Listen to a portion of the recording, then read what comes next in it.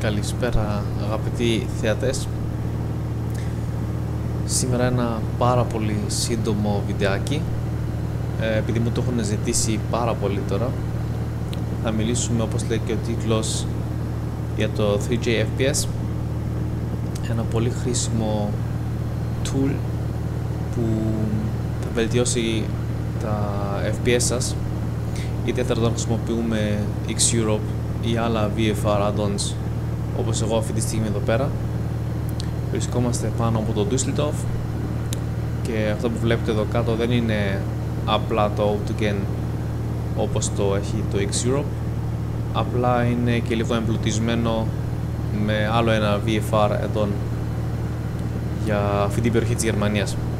Οπότε όπως μπορείτε να φανταστείτε πάρα πολλά object και σε συνδυασμό με σύννεφα και τα settings και όλα τα άλλα ε, μπορεί και επιβαρύνει το σύστημα πάρα πολύ. Αυτή τη στιγμή όπως βλέπετε τρέχω με, τα δικά, με το δικό μου setup του 3G FPS σε σταθερά 35, 36, 37 frames. Και θα σας δείξω πώς θα πρέπει να ρυθμίσετε και εσείς το δικό σας 3G FPS ώστε να βελτιώσετε τα frames σας και να το ρυθμίσετε έτσι όπως χρειάζεται πριν ξεκινήσουμε, μην περιμένετε θαύματα, έτσι. Όταν δεν έχετε καλό μηχάνημα και δεν μπορεί να τα σηκώσει ούτως ή άλλως, το 3G FPS δεν θα κάνει κάτι. Το 3G FPS θα σας βοηθήσει απλά να σταθεροποιήσετε τα frames και να κατεβάσετε κάποιους παραμέτρους όταν πέφτουν τα frames σας πάρα πολύ, ώστε να σωθούν λίγο. Θα σας τα δείξω όμως τώρα με λεπτομέρεια. Λοιπόν, ε, δεν μπορώ να κάνω πολλά πράγματα ταυτόχρονα, οπότε πατάμε εδώ λίγο ένα pause. Και αυτό που θέλω να σας δείξω πρώτα φυσικά είναι η εγκατάσταση. Θα βρείτε στο video description το download link που θα σας πάει στο forum του explain.org. Κατεβάζουμε το 3G FPS και λογικά το μόνο προαπαιτούμενο που έχουμε είναι να υπάρχει κατεστημένο Fly with Lua που νομίζω όλοι όσοι ε, βλέπετε το κανάλι και έχετε παρακολουθήσει το, τα βίντεο μου το έχετε ήδη. Για να ρίξουμε μια ματιά στο τι κατεβάσαμε ακριβώς. Αν κάνατε τα πάντα σωστά θα έχετε κατεβάσει μόνο ένα αρχείο, ένα Lua αρχείο είναι. Αυτό το βάλουμε εντός του φάκελου Fly with Lua που βρίσκεται εντός uh, resources και plugins οπότε πάμε Fly with Lua πάμε scripts και εδώ πέρα θα βρείτε ήδη εγκατεστημένο από εμένα το Lua που κατεβάσετε και εσείς. Αυτά τα δύο τα αρχεία να μην σας μπερδεύουν, αυτά θα εμφανιστούν αργότερα όταν κάνετε τη ρύθμιση και μετά και αυτό ήτανε.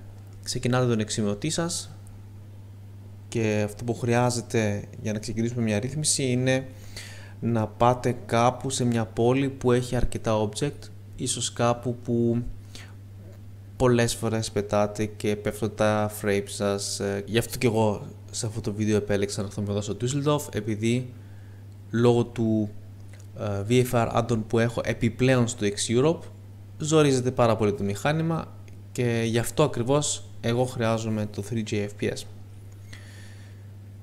Λοιπόν, αφού πετάξουμε μέσα το script ε, όπως σας έχω δείξει εδώ πέρα, ξεκινάτε το X-Plane, ε, ερχόσαστε στην πτήση, πάτε στον αέρα και θα βρεθούμε σε ακριβώς αυτή την κατάσταση που βρίσκομαι και εγώ αυτή τη στιγμή.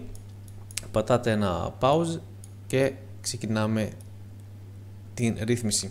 Θα έχετε παρατηρήσει λοιπόν ότι εδώ αριστερά επάνω θα υπάρχει ε, το 3J FPS. Είναι αυτή η μπάρα εδώ πέρα με διάφορους παραμέτρους ε, απλά κάνουμε ένα κλικ και μας ανοίγει το μενού.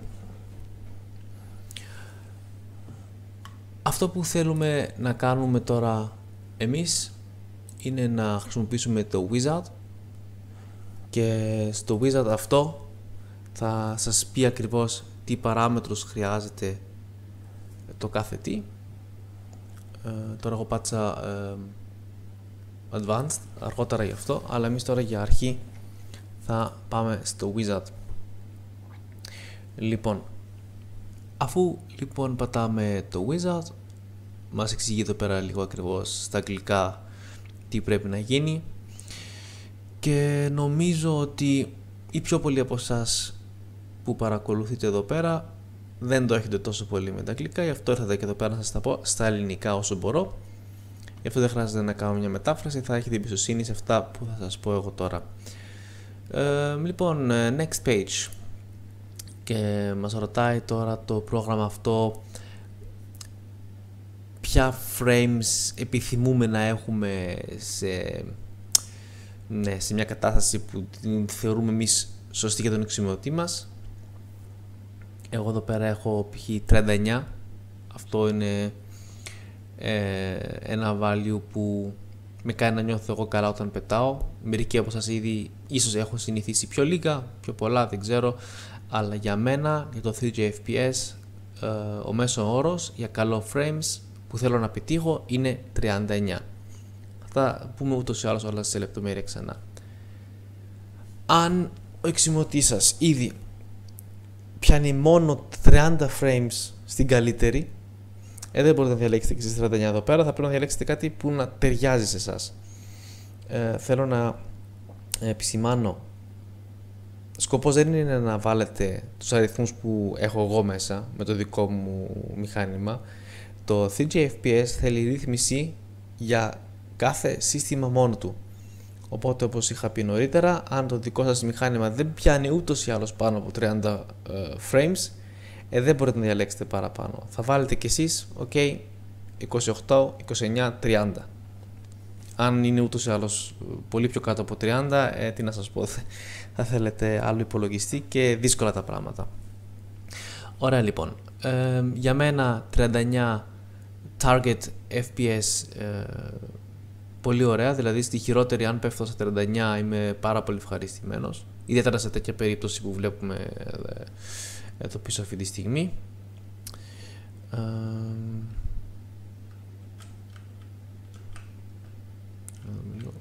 ήταν ωραία οπτική γωνία αυτή που είχαμε έτσι να φαίνονται στο βάθος τα κτίρια βασικά πού βρίσκουμε; Είχαμε Α, εδώ είναι το κέντρο της πόλης, θα έρθουμε πως θα δω μετά. Ωραία. Λοιπόν, αφού διαλέξουμε ένα νούμερο όπως μας αρέσει, θα πατήσουμε next page και θα ξεκινήσουμε με το πρώτο μενού και είναι και το μόνο μενού που δουλεύω εγώ. Για όλα τα άλλα μετά δεν θα μπορώ να σας πω ακριβώς ε, τι και πώς. Θα σας πω τι, τι αλλάζουν αλλά αν θέλετε να παίξετε με τα νούμερα ε, το κάνετε ε, μόνοι σας στην ουσία γιατί εγώ το 3G FPS το δουλεύω μόνο με αυτό το automatic load. Το load λοιπόν level of detail είναι στα ελληνικά ο βαθμός λεπτομέρειας ε, των object που θα βλέπουμε στον εξημειωτή μας. Όσο πιο μικρό το νούμερο του load τόσο πιο λεπτομερής και τόσο μακριά θα βλέπουμε τα κτίρια. Όσο πιο μεγάλο το νούμερο του lot, τόσο πιο λίγα θα βλέπουμε. Και ακριβώς αυτό κάνει αυτό το μικρό προγραμματάκι, ρυθμίζει το lot ανάλογα με τα frames που έχετε αυτή τη στιγμή. Αν εσείς λοιπόν έχετε πέσει στα 20 frames, θα κοιτάξει το πρόγραμμα αυτό να ανεβάσει το lot, δηλαδή το νούμερο του lot, που στην ουσία σημαίνει, που στην ουσία σημαίνει ότι ε, ρίχνει το lot ε, ώστε να έρθει πάλι στα frames που έχει διαλέξει στην πρώτη σελίδα στο target FPS λοιπόν μην τα πολύ λέω και σας μπερδεύω ούτως ή άλλως. Ξεκινάμε είχαμε πει ότι ξεκινήσαμε με το automatic load configuration. Πάμε next page και εδώ πέρα τώρα μας ρωτάει μέχρι πού θέλουμε να έχουμε minimum value και μέχρι πού maximum; Τι θα πάει να πει αυτό; Αφού λοιπόν διαλέξαμε εδώ κάπου ένα χώρο που ήδη μας επιβαρυνεί τον εξημειωτή, αν κάνω κλικ εδώ πέρα, θα μπορώ να αποφασίσω για το στη χειρότερη περίπτωση πώς θέλω να ρίχνει την ποιότητα ο εξημειωτής μου. Δηλαδή αν δείτε εδώ πέρα τώρα, βασικά παρατηρήστε τα κτίρια λίγο εδώ πίσω από το σκάφος, αν πάω και το ρίξω εντελώς χαμηλά, θα δείτε ότι είναι όλα άδεια. Σε αυτή την περίπτωση φυσικά θα κερδίσω πάρα πολλά frames. αλλά δεν είναι η ουσία να εξαφανίζουν όλα τα κτίρια. Οπότε και εσείς θα διαλέξετε κάποιο νούμερο εδώ πέρα που ε, να είναι σε λογικά πλαίσια. Στην ουσία το 3G FPS ήδη μας ε, περιορίζει λίγο εδώ εντός του πράσινου ε, σημείου. Εγώ, εγώ τι είχα εδώ μέσα; Εγώ πρέπει να είχα δύο. Όχι, δυόμιση είχα. Λοιπόν, στην χειρότερη λοιπόν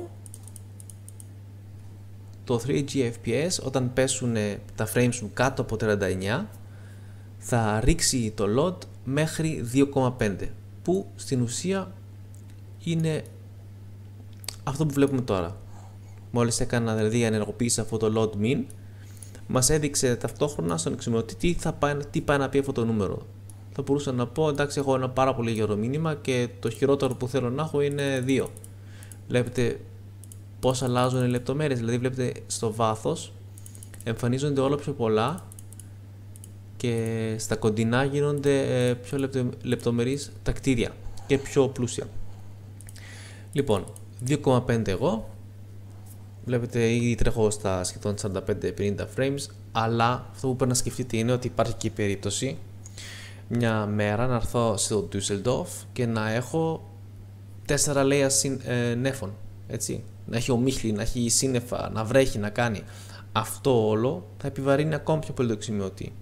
Οπότε αφήνω και εγώ μια ρεζέρβα, το αφήνω στο 2,5 επειδή βλέπετε δεν είναι άσχημο το 2,5 για χειρότερη περίπτωση. Εντάξει. Και τώρα στο επόμενο, δηλαδή αφού αποφασίσαμε για ένα νούμερο εδώ πέρα και να ξέρετε αυτό το νούμερο σας αλλάζετε πάντα. Είναι ένα νούμερο που εγώ χρειάστηκα μήνες για να βρω τι μου αρέσει και τι κάνει νόημα για τον εξημειωτή μου. Και ανάλογα λοιπόν με αυτό το νούμερο που βάλαμε εδώ πέρα θα βάλουμε και το maximum. Το maximum θα πει τι θα πει το maximum; Είναι αυτονόητο βασικά είναι το αντίθετο από αυτό που κάναμε τώρα. Δηλαδή αν πάνε όλα καλά και έχουμε πολλά πιο πολλά frames από ό,τι είπαμε στο πρόγραμμα ότι θέλουμε στην περίπτωση λοιπόν ότι διαλέξαμε θέλουμε 30 fps να έχουμε σταθερά και ο ξημιωτής ξαφνικά μπορεί και χτυπάει 50 frames. Ε, τότε θα κοιτάξει να πάει με το level of detail τόσο ψηλά ώστε να ρίξει λίγο τα frames για να φτάσει πιο πολλά στα 30. Δηλαδή είναι η ρεζέρβα σας που μπορεί και νομίζω ότι άνετα θα μπορεί να το σηκώσει ο ξημιωτής σας.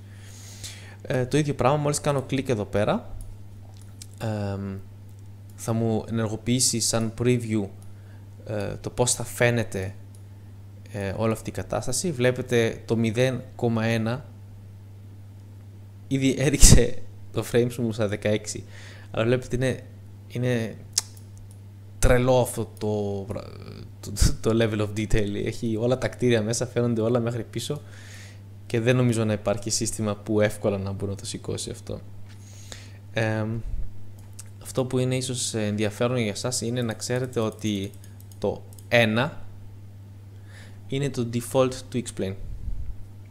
Οπότε αν το αφήσετε στο 1 θα είναι όπως το έχετε ούτως ή άλλως ρυθμισμένο το δικό σας explain απλά όταν πέφτουν τα frames θα ανεβεί μέχρι 2,5 εγώ επειδή ξέρω το σύστημά μου και είναι γερό σύστημα αυτό που κάνω είναι ότι το βάζω στα 0,5 στην καλύτερη περίπτωση.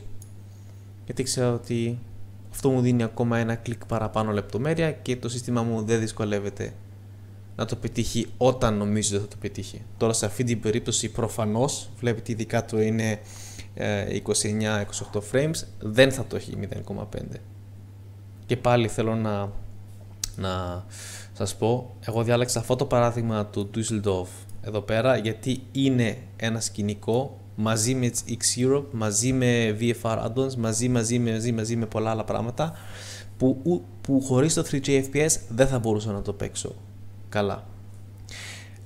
Αυτό λοιπόν για το min και max load. Συνεχίζουμε στο next page. Και τώρα λοιπόν όλα αυτά θα τα δοκιμάσετε μόνοι σας αν θέλετε. Αν θεωρείτε ότι πρέπει να ρίξετε, ότι δεν σας αρκεί αυτό και θέλετε να ρίξετε πιο πολύ τα frames, θα μπορείτε ε, με τα επόμενα steps να κάνετε κάποιες αλλαγές. Θα σας εξηγήσω όμως τι κάνουν. Απλά δεν μπορώ να σας πω ε, εμπειρικά νούμερα επειδή δεν έχω ασχοληθεί. Το επόμενο λοιπόν είναι το Cloud Density, οπότε προφανώς αν τον ενεργοποιήσουμε ε, θα αλλάξουν τα σύννεφά μας. Ε, εγώ το, το έχω off το είχα, τώρα το βάλα σε on και μόνο αν το έχω σε on θα μου επιτρέψει στο next page να τα ρυθμίσει. Και το παιχνιδάκι είναι το ίδιο. Βλέπουμε λοιπόν ένα min value, εμφανίστηκαν όλα τα σύννεφα, ε, όχι όλα, αλλά τα πιο πολλά. Και αυτό λοιπόν είπαμε είναι η χειρότερη κατάσταση, όταν δηλαδή δεν πετυχαίνουμε άλλο τα frames που διαλέξαμε στην αρχή. Και από την άλλη έχουμε την Density Max που αντιστοιχεί και στο Load Max που είχαμε πει νωρίτερα και εδώ πέρα θα κοιτάξει να ανεβάζει την, ε, το βαθμό ποιότητας αν έχετε πολύ πιο πολλά frames από ό,τι διαλέξατε νωρίτερα. Ε, εγώ ξαναγυρνώ, το κάνω off. Εύχομαι να μην αντιέγραψα κατά με το off on κάτι, όχι αυτό πρέπει να είναι το default μου. Ε, next page έχουμε clouds puff size. Αυτό τώρα να το εξηγήσω είναι λίγο πιο δύσκολα στα ελληνικά. Στην ουσία, α, ξέρω πώς θα το εξηγήσω.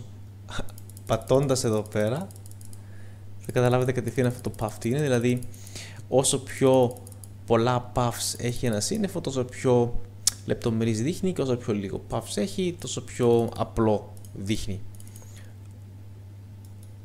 Και φυσικά όσο πιο πολύ καλύβει στον ουρανό το σύννεφο, τόσο πιο πολλά frames τρώει. Πάω και εδώ πάλι previous και off για να πάει σε default, off, off. Έχουμε auto anti-aliasing. Αυτό τώρα είναι ρυθμίσεις που ε, τις κάνουμε όταν η κάρτα γραφικών μας δεν είναι πολύ καλή. Οπότε μπορείτε να διαλέξετε εδώ πέρα π.χ. αν το κάνω on. Αυτό δεν θέλω να το κάνω. Αν θέλετε προσπαθήσετε μόνοι σας. Ε, ξέρετε τι είναι το anti-aliasing. Σε αυτό το μενού θα μπορείτε να ρυθμίσετε το 3G FPS έτσι ώστε το anti-aliasing να αλλάζει ανάλογα με τα frames σας. Τι άλλο έχουμε, αυτά ήταν. Αυτά είναι τα μενού μας. Αφού δηλαδή τα κάναμε όλα, πατάμε save και τελείωσε. Αυτό που κάνω εγώ μετά πάντα είναι στο advanced. Βλέπω ξανά τις ρυθμίσεις που έκανα, βλέπω το FPS control, Έχουμε εδώ ξανά τις ρυθμίσεις όλες αυτές που κάναμε και με το Wizard, βλέπουμε το Load Min, το Load Max, βλέπουμε αν έχουμε κάνει κάτι με τα σύννεφα, το Anti-Aliasing και κάποιες άλλες ρυθμίσεις που δεν τις ε, πειράζω, δηλαδή Scenery Shadows Auto On Off, βλέπουμε τις σκιές ε, ενεργοποιούνται, ε, ενεργοποιούνται και απενεργοποιούνται, ανε, αχ, γλώσσα δεν γερνάει, αυτομάτως ανάλογα με τα frames. Έχουμε εδώ AGL Visibility που, είναι, που αλλάζεται πολλές φορές με άλλα plugins ε, και εδώ μπορείτε να το φέρετε πάλι στα ίσα. Αυτό είναι το πόσο μακριά βλέπετε τον, ορίζ, τον ορίζοντα για να δείτε λίγο τι εννοώ.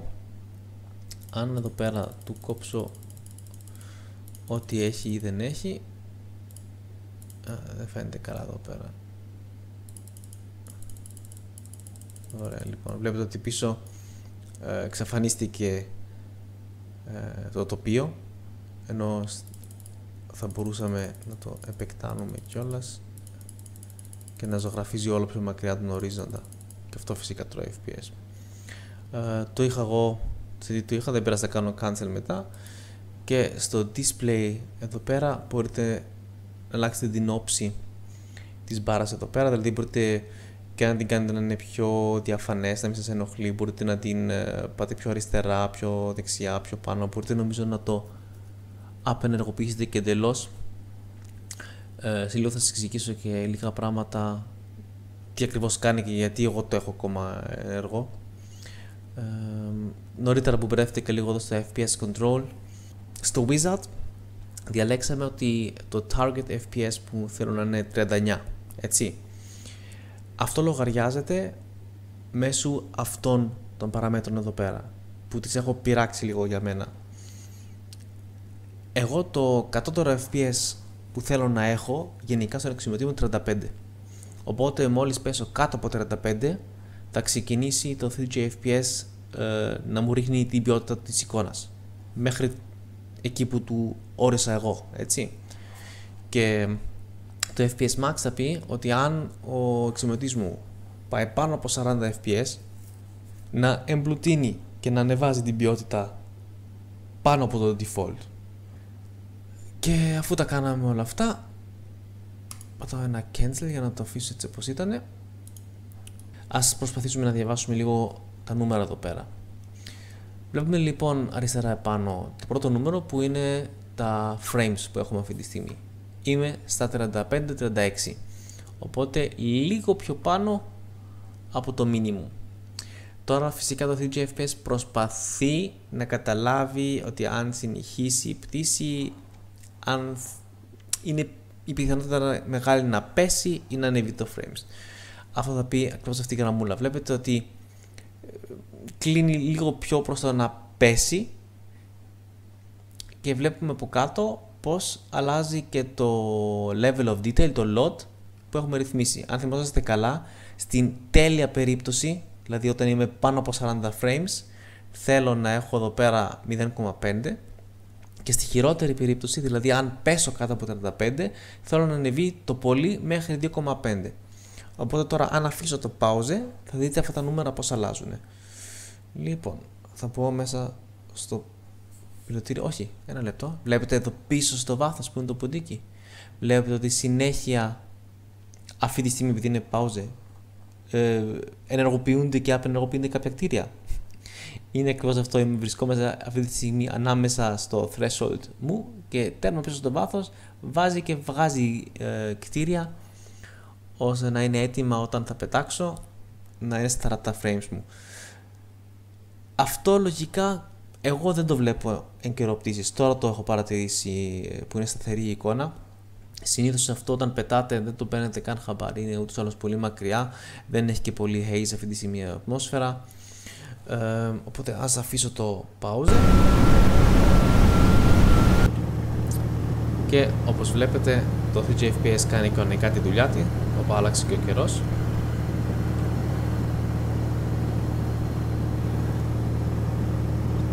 και αυτό που βλέπετε τώρα αυτή τη στιγμή είναι ότι το load μου το Autolot είναι στα 1,5-1,4 επειδή ο υπολογιστής μου δεν καταφέρνει να φτάσει το target FPS που έχω ορίσει εγώ. Τώρα δεν ξέρω ξαφνικά γιατί έχουμε τόσες πολλές αναταράξεις. Δεν μπορώ να ηρεμήσω το σκάφος.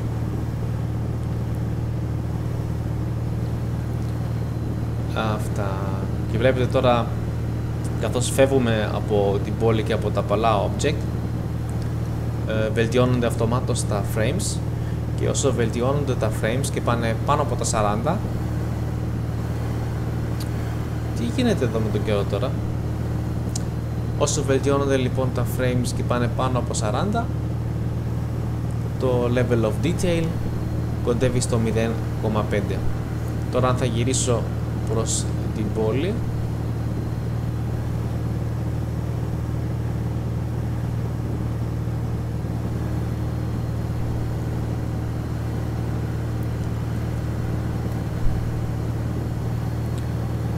Βλέπετε ότι το level of detail το ρίχνει. Είμαι ήδη πάνω από το 1 που είναι το default του X-Plane. Αλλά σας καταλάβατε ότι άλλαξε κάτι; Όχι. Θεωρώ ότι ακόμα φαίνεται πάρα πολύ ωραίο. Το μόνο που με ζαλίζει αυτή τη στιγμή είναι ότι κουνάει το σκάφος πάρα πολύ. Θα κάνω μια εξωτερική επειδή κουράστηκα να κουνιέται όλο το πιλωτήριο.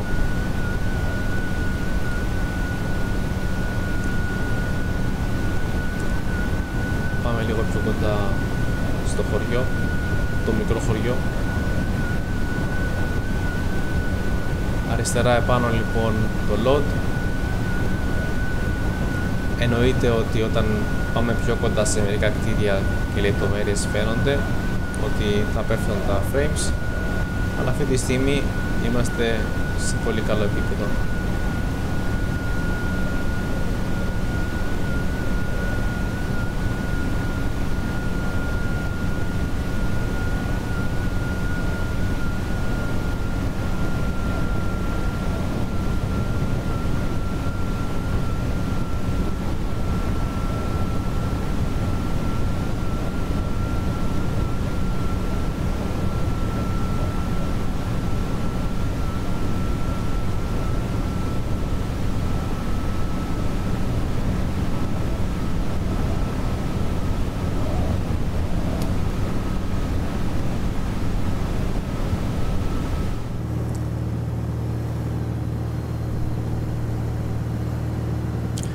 Αυτά λοιπόν για το 3G FPS. Πολύ σύντομο tutorial, χωρίς ε, planning, χωρίς ε, να το σχεδιάσω ιδιαίτερα. Εύχομαι να ήταν όλα κατανοητά. Και πείτε μου, αν κάτι δεν πάει καλά ή ξέχασα να πω κάτι ή κάτι τα είπα πολύ μπερδεμένα, αφήστε μου ένα σχόλιο κάτω από τα βίντεο, ε, επικοινωνήστε μαζί μου μέσω facebook ε, στο Explain Greece. Αλλά ναι, όπως βλέπετε δεν είναι κάτι δύσκολο, δεν έχουμε μιλήσει για πολύ πιο δύσκολα πράγματα. Αυτό είναι πανεύκολο, απλά καταλαβαίνω και εγώ όταν τα αγγλικά είναι λίγο δύσκολα ή όταν βλέπουμε κάτι που δεν έχουμε ξαναδουλέψει ποτέ και δεν ξέρουμε τι είναι lot, τι είναι puff size, τι είναι το ένα, τι είναι το άλλο, ότι δυσκολευόμαστε και προσέχουμε λίγο ε, το τι σκαλίζουμε. Σας καληνυχτώ λοιπόν, εδώ είναι βράδυ, είναι, είναι χαράματα, πρωί ξυπνώ πάλι. Ε, πατήστε ένα subscribe να βλέπετε καινούργια βίντεο. Πλέον ε, δεν έχω μόνο tutorial, δείχνω και ρυθμίσεις μου, δεν υπάρχουν μυστικά σε μένα. Ό,τι θέλετε ρωτάτε. Αν θέλετε να δείτε κάτι συγκεκριμένο, κάντε μια πρόταση. Ε, ευχαρίστως να το πραγματοποιήσω. Όπως και αυτό το tutorial. Δηλαδή, σκέφτηκα πολλές φορές να κάνω ένα, να μην κάνω.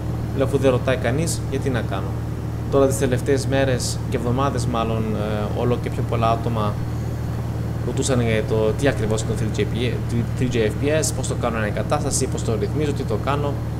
Ε, ναι, γι' αυτό τώρα το έκανα. Συνήθως ε, τα προγραμματίζω λίγο πιο καλά και με τον χρόνο μου, αλλά αυτή τη στιγμή δεν έχω πολύ χρόνο γενικά.